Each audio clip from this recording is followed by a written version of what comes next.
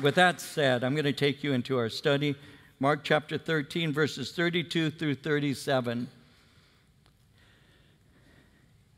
Beginning at verse 32, Jesus said, But of that day and hour no one knows, not even the angels in heaven, nor the Son, but only the Father.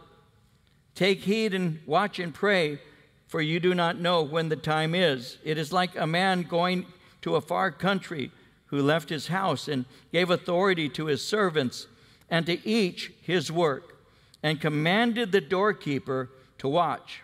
Watch, therefore, for you do not know when the master of the house is coming in the evening, at midnight, at the crowing of the rooster, or in the morning, lest coming suddenly he find you sleeping. And what I say to you, I say to all watch.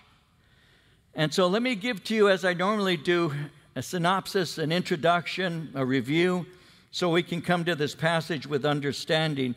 We've been studying chapter 13 and we've been studying Jesus' answer that had been asked to him uh, by his men. As Jesus and, and his men were leaving the temple, his men had noted the beauty of the temple. In verse 1 of chapter 13, they had said, Teacher, behold, or see what manner of stones and buildings are here.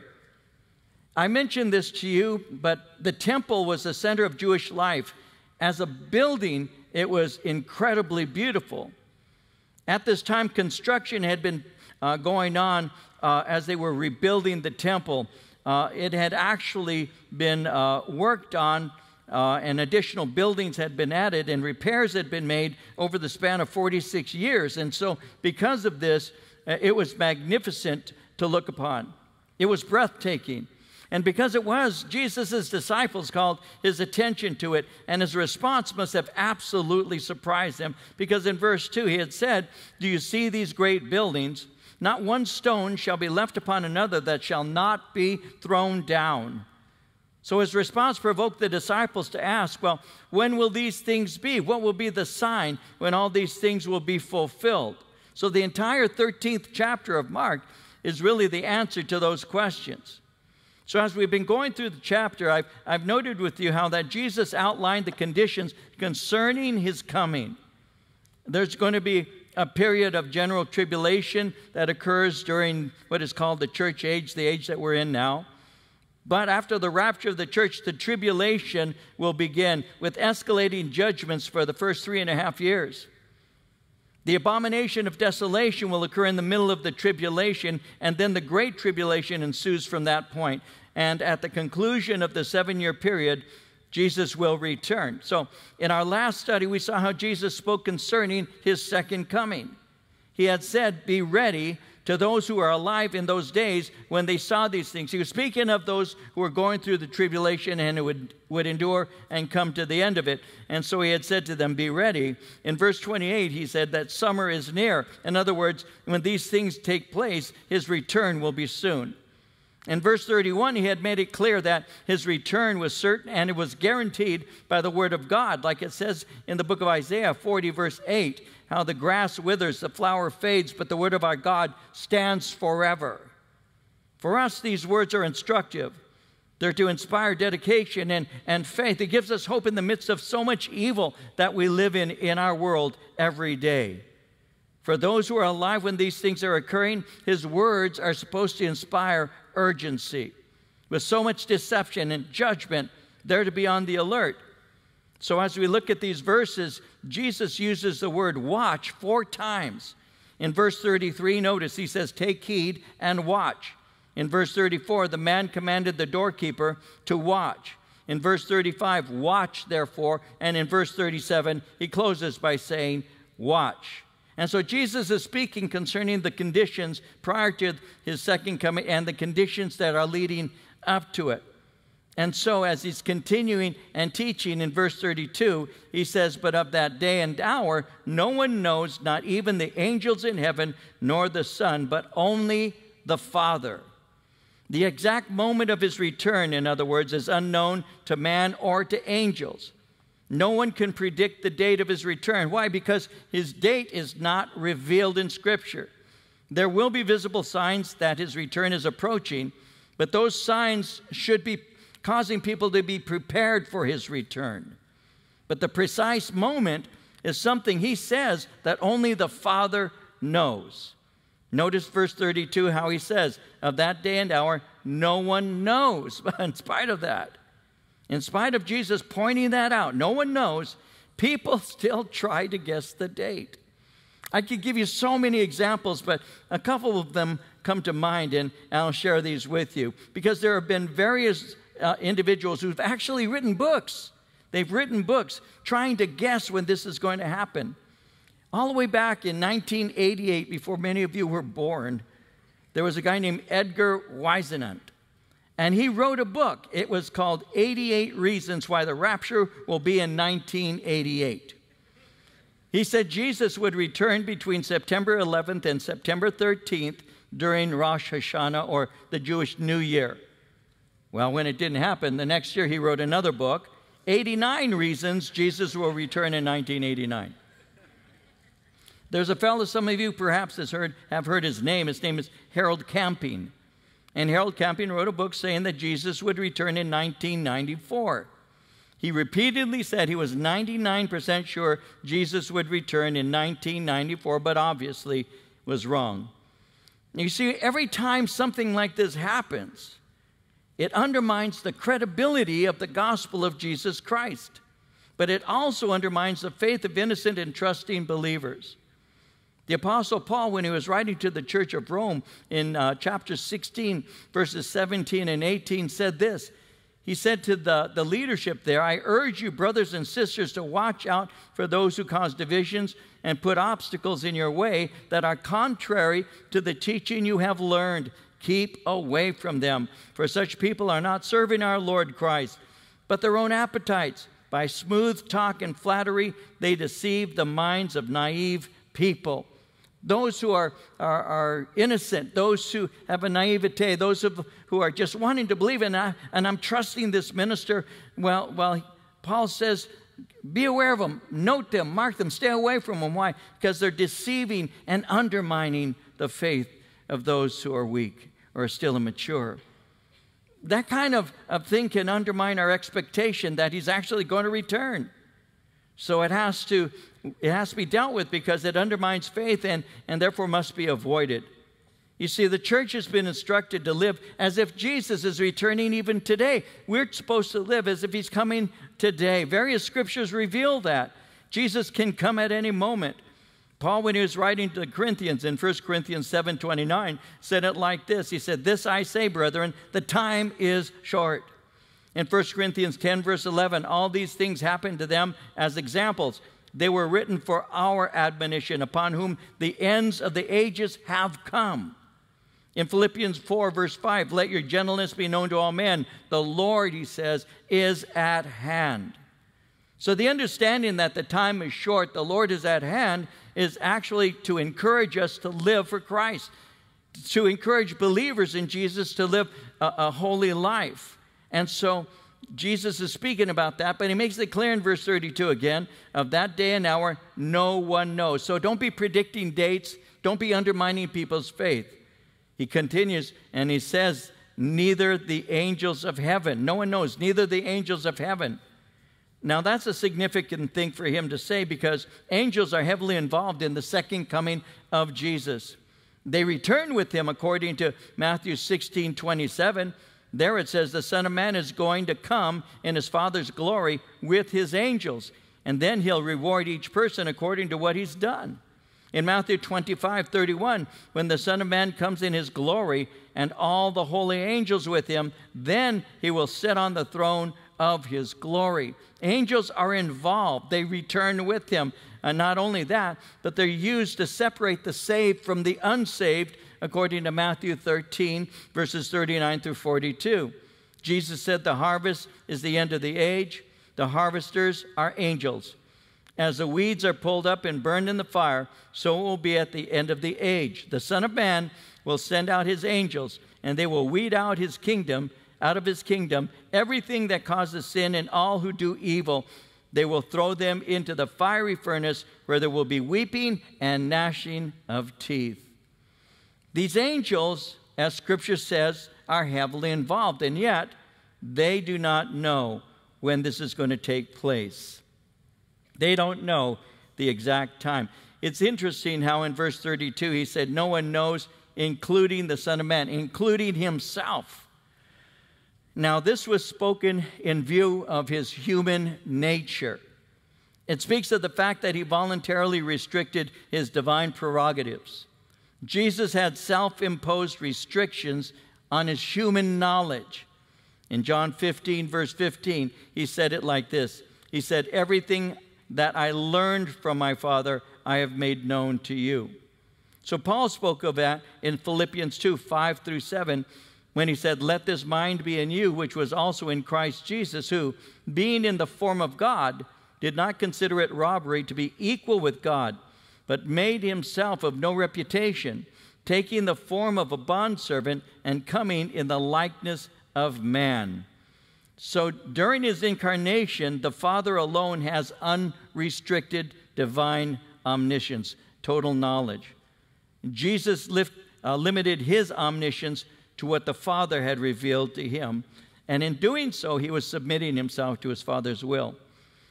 In John 12 49, he said, I've never spoken on my own initiative or authority, but the Father himself, who sent me, has given me a commandment regarding what to say and what to speak. What to say and what to speak. What to speak means and how to say it.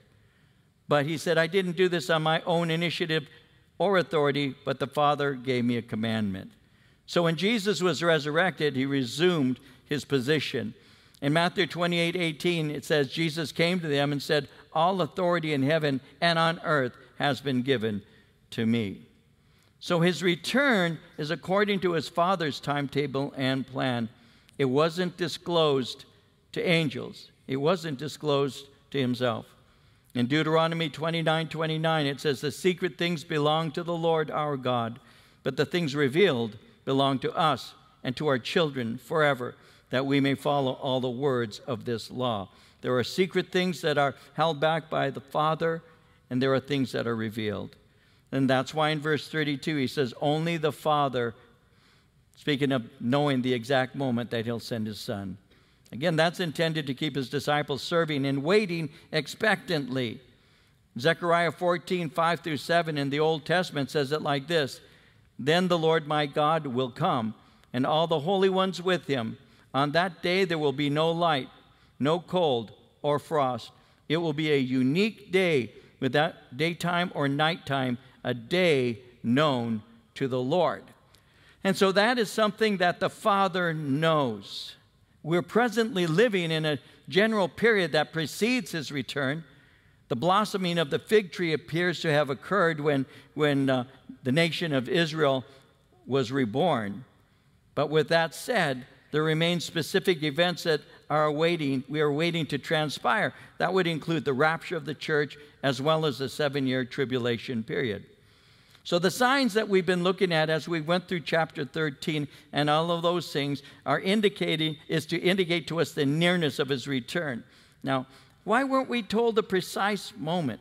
I think part of the reason may be because we would be tempted to put off coming to faith in Christ to the last moment. If I knew he was coming on such and so a date, I could be tempted to just continue living in the world and then to just say, well, he's coming back April 12th or whatever. I better get right with God. No, he, he wants us to be in a state of anticipation. And there are those who would say, well, you know, I'm going to wait until the tribulation, see what's really going on in that. Well, there's no guarantee that they could even make it through the tribulation. There's going to be a lot of martyrs during that time and a lot of death and, and, and all of that. And so we aren't told the precise moment so we can live as if it's today. Salvation isn't something, by the way, that you delay receiving. Salvation is something you sh- should receive immediately. You don't wait till the last second. I, I, have never met anybody, and I've been around for a while now. I have never met anybody who's come to faith in Christ.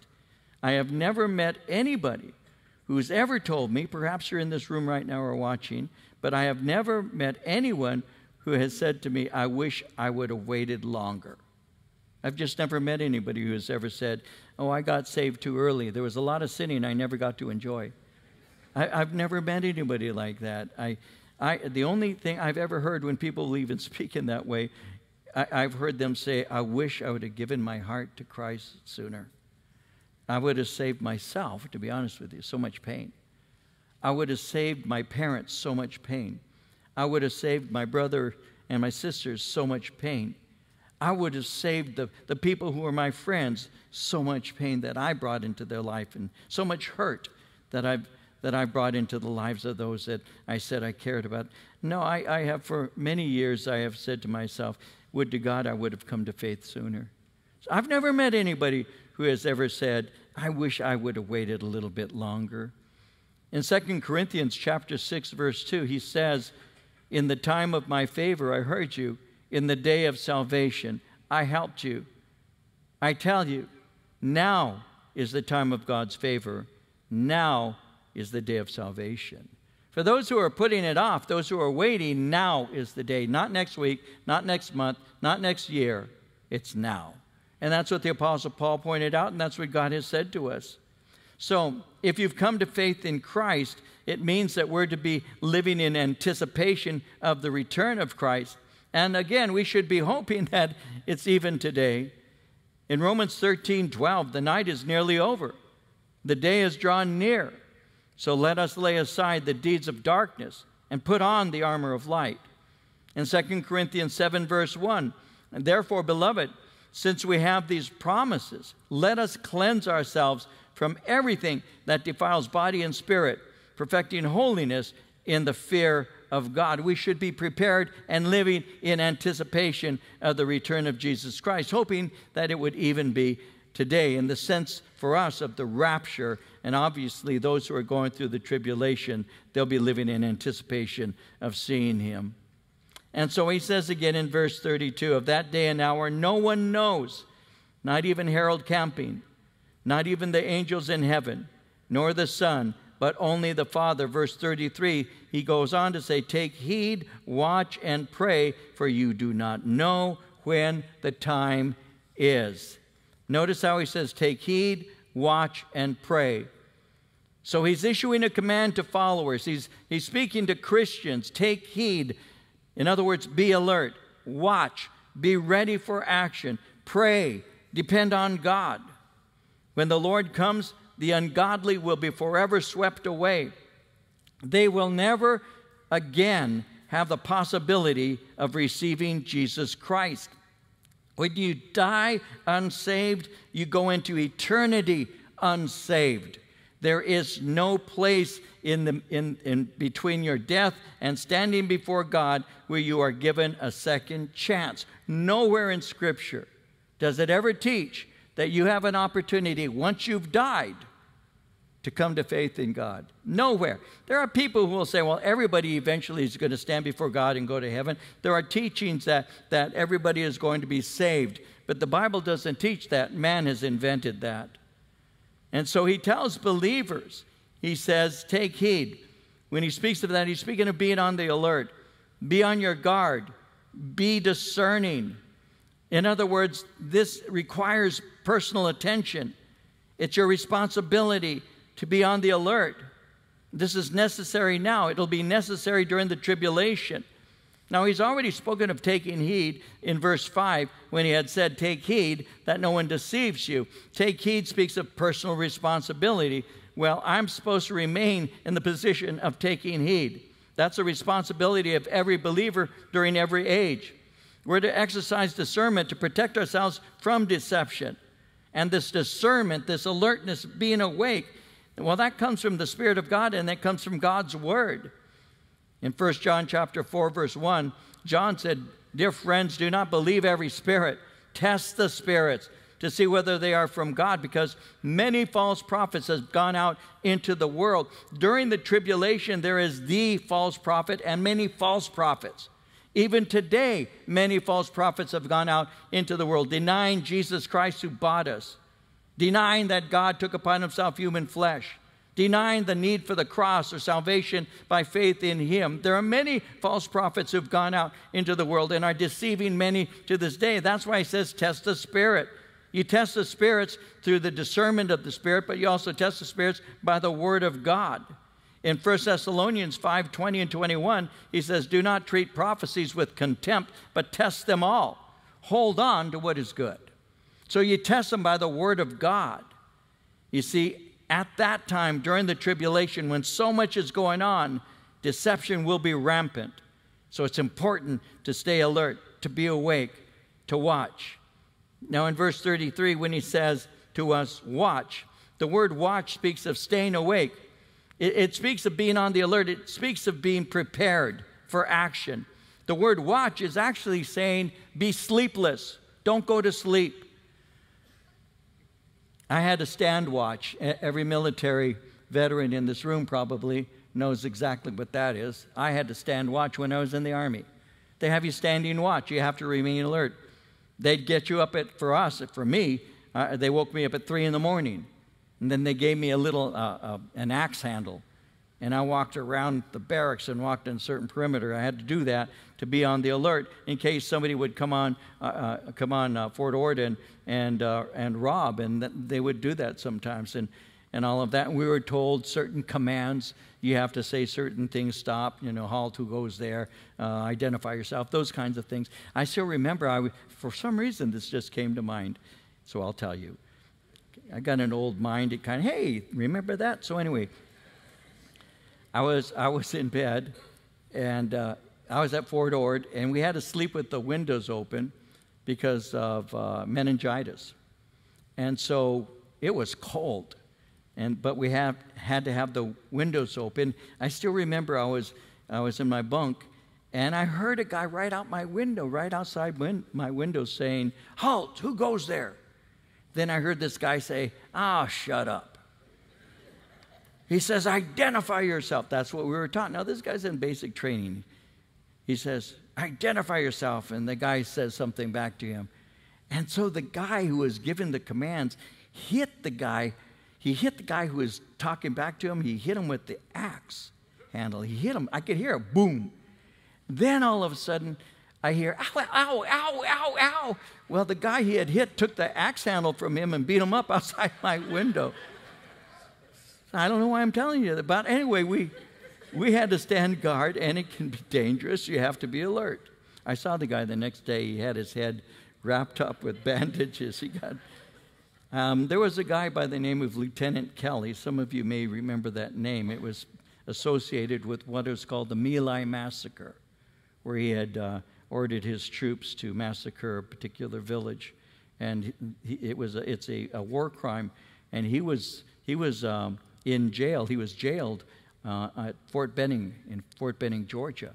When I went through jump school, part of what I had to do with some of the people is we had to guard the place that that uh, Lieutenant Kelly was at. We, we, we walked guard there. We guarded the perimeter. You're, you're, you're told to be on the alert, to be sleepless, because if you go to sleep and the enemy is coming or approaching, uh, he, he, can devastate, the, the, enemy can devastate um, your camp. Uh, it, there's, there's many stories of when that happened, again, during Vietnam, when, uh, when they allowed, the, the, the enemy combatants had allowed the American who was to be on watch, they watched him as he went to sleep. He fell asleep on guard. And then they came in and killed all of his friends. It's a very serious thing when you're told to be on the alert, be on watch, because danger is, is approaching. And so when Jesus is speaking in this way, he's saying, stay awake, stay alert, be prepared for action, be sleepless.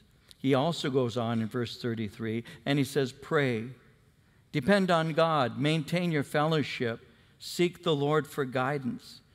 As it says in Ephesians 6:18, Pray in the Spirit at all times, with every kind of prayer and petition. To this end, stay alert with all perseverance in your prayers for all the saints. Why is that? Verse 33 because you do not know when the time is. To be alert, to watch and pray, requires faith and patience. He's coming, but He's coming in His own time. He has not given us the exact moment, therefore, we should be prepared as if He's coming at any moment. We patiently wait for Him. The Apostle Peter in 2 Peter 3 8 and 9 said it like this He said, Do not forget this one thing, dear friends. With the Lord, a day is like a thousand years, and a thousand years are like a day. The Lord is not slow in keeping his promise, as some understand slowness. He's patient with you, not wanting anyone to perish, but everyone to come to repentance. So, to illustrate this, Jesus tells a, a, story. He says in verse 34 it is like a man going to a far country who left his house and, and gave authority to his servants and to each his work, and he commanded the doorkeeper to watch. And so, this rich man, as we read, he left his home and he was traveling, but he left his home and entrusted his, his servants to care for his home. Now, he fully expects them to perform the duties he's entrusted to them. He travels abroad, but he doesn't tell them when he's going to return. Now, the master we know in the story is Jesus, who will soon be crucified. His disciples are to carry on his work as he is gone until he returns. So, as believers, we're to be busy serving, knowing that he will return. So, the church is to be in a state of readiness. We're to be awaiting him, we're to be watchful. And, and it's going to be a while before he returns, and distractions will come. Distractions happen. Our, our lives are, are caught up with distractions. And it's, it just takes small things to awaken us to the reality of that. I'm watching a, a baseball game yesterday. They call it a baseball game. And my beloved Dodgers. Oh, no, no, no, no, no. uh, John, would you please escort?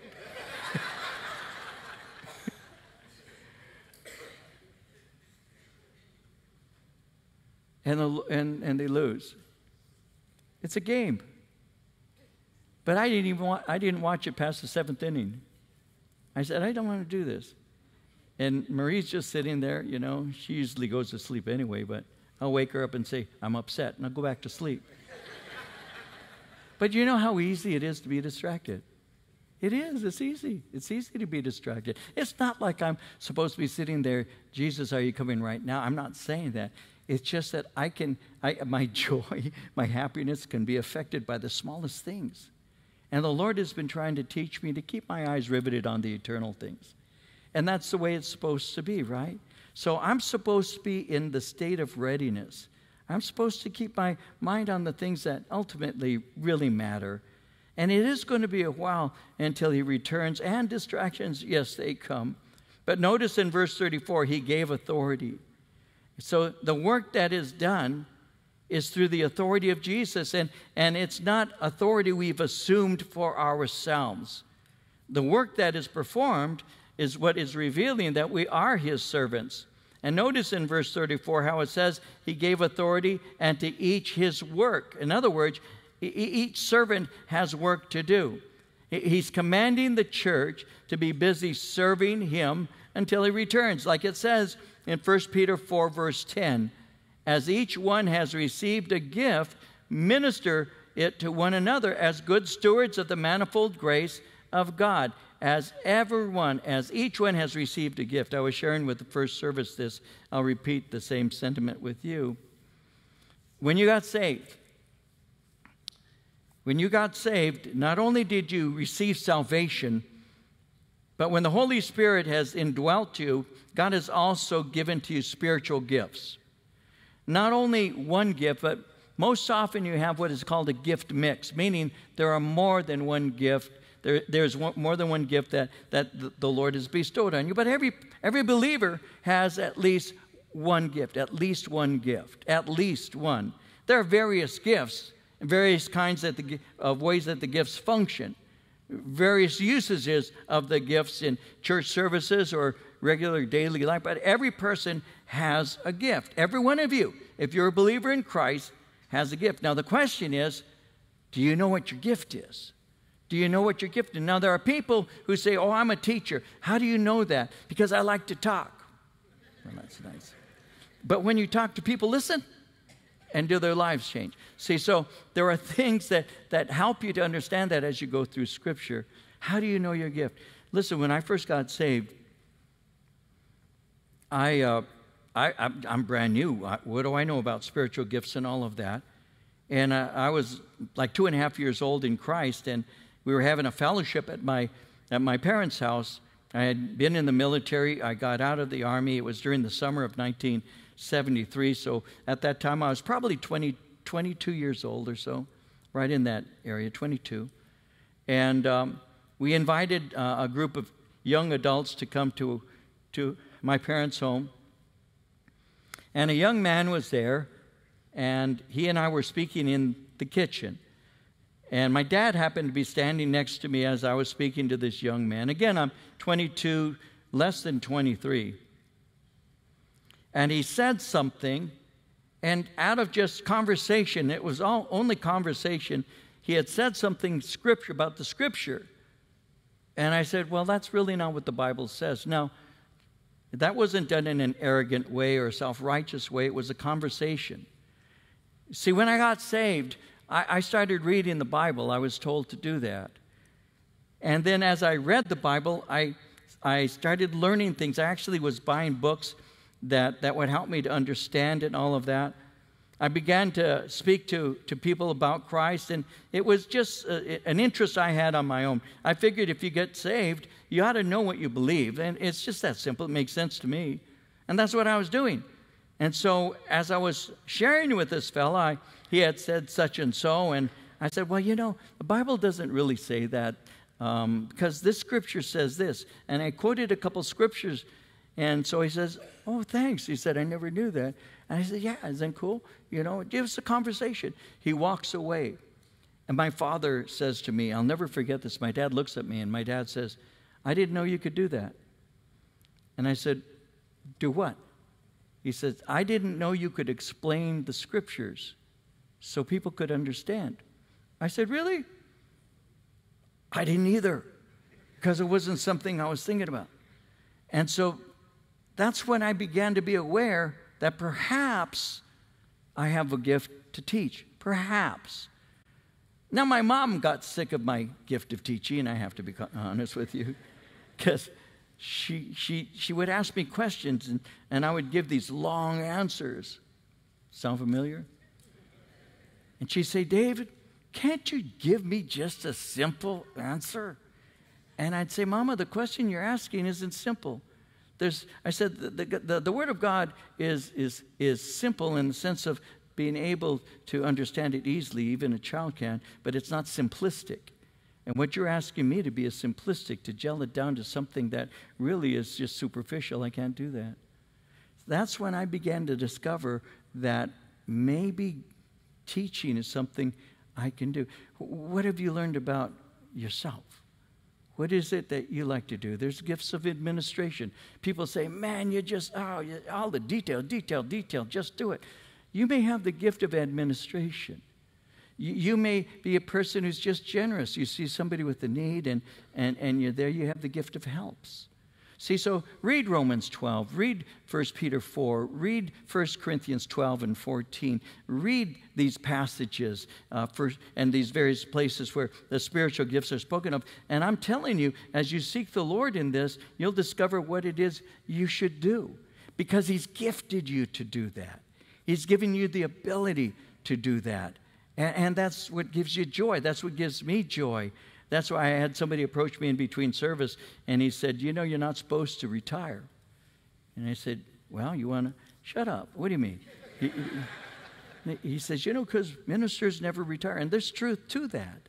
My pastor Chuck told me this one time. Chuck Smith, he said, I asked him, When do you retire? He says, When you get tired of talking about Jesus, which means you don't. You never do. And so, what is your gift? Because we're to be busy, and that's what Jesus is speaking about here, by the way. That's what he's referring to. He said he gave to his servants authority to his servants and to each one his work, commanded the doorkeeper to watch. So each of us has been given this ability. Notice in verse 34, he commanded the doorkeeper to watch. The doorkeeper cares for those who are entering in or leaving the house.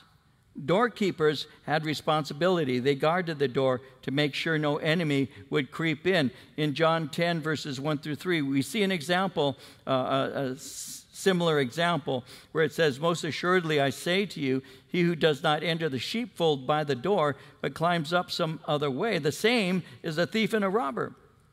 But he who enters by the door is the shepherd of the sheep. To him the doorkeeper opens, and the sheep hear his voice and he calls his own sheep by name and leads them out. Now, in a sense, believers are doorkeepers, but especially this could refer to the leaders of the congregation. In Ephesians 4 11 through 13, he himself gave some to be apostles, some prophets, some evangelists, some pastors and teachers, for the equipping of the saints for the work of ministry, for the edifying of the body of Christ till we all come to the unity of the faith and of the knowledge of the Son of God, to a perfect or a mature man, to the measure of the stature of the fullness of Christ. So we've been given responsibilities. Apostle, prophet, evangelist, in our day, pastor, teacher is given the responsibility to guard the door, to give the word of God properly. In 1 Thessalonians 2, verse 4, as we've been approved by God to be entrusted with the gospel, even so we speak, not as pleasing men, but God who tests our hearts. The doorkeeper's, doorkeeper's responsibility is to please God, to protect the sheep, to give those things that, that the sheep should hear in order that they're protected and they can grow and they're, they're not duped by the deceivers who come in. And so he's using an illustration of the one who is, who is there appointed to a task and he's watching. Now, this is going to be especially true during the tribulation when deception is rampant. They have to be on the alert. They need to be ready to welcome the master home. And therefore, verse 35, he says, Watch. Watch, therefore, for you do not know when the master of the house is coming in the evening, at midnight, at the crowing of the rooster, or in the morning, lest coming suddenly he find you sleeping. And what I say to you, I say to all watch. He can come at any time. We're to be ready and we're to be awake. In Luke 21 34 through 36, take heed to yourselves, lest your hearts be weighed down with carousing, drunkenness, cares of this life, and that day come on you unexpectedly. For it will come as a snare on all those who dwell on the face of the whole earth. Watch, therefore and pray always that you may be counted worthy to escape all these things that will come to pass and to stand before the Son of Man. Watch. All the way back in 2004, some of you might remember, you're old enough to remember, the, the tsunami that hit and destroyed much in the east. It hit the the, the, uh, the land of, uh, of Thailand and devastated. I had the opportunity of going to uh, Phuket, Thailand, uh, right after that had taken place. Uh, our fellowship, um, without us receiving an offering, you know, by passing a bucket and all, I still remember saying to the church at that time, all the way back in, in, in 04, I said, if you want to be of help to minister to these people who have been devastated. We went, I have pictures of the, the, the, the, water that rose up over, the, over eight to 10 feet. I mean, it was devastating. I said, if you want to be of any help and all, then, then I, am not receiving an offering, but, but anything you designate, we will give to them. And, and uh, about 100 and, almost $170,000 spontaneously came in from the congregation at that time to minister to those in that kind of need. And, and so we helped an awful lot. This fellowship helped an awful lot uh, those who had been devastated in this terrible, terrible uh, tsunami. And I remember watching a video of a man who was on a, on a rooftop. You could see the, the wave as he's on the rooftop and he's yelling. Because what has happened is he is at a vantage point. He's up here he can look down.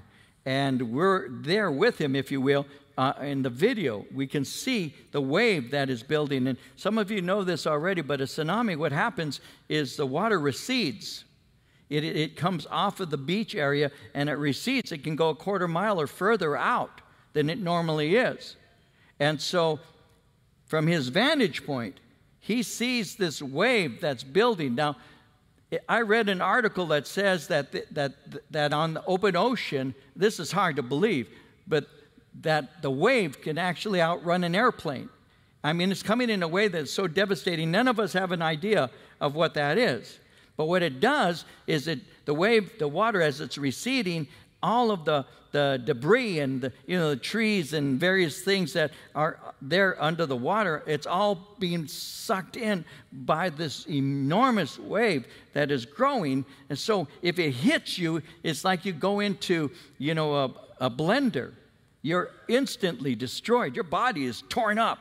It, it doesn't appear that way. We, we don't know, but that's what's happening because there's so much debris, there's rocks and branches and everything inside this wave that the second it hits you, it obliterates you. You're gone instantly. And this man is standing on the rooftop and he's looking out, and we're in his vantage point so we can see the wave. And he's yelling and screaming for people, come off the shore. There's a wave. You can hear him screaming, and there's the, the translator is, is they're, they're, they're telling us what he's saying. Run for your life. Come off the shore. It's coming. It's going to destroy you.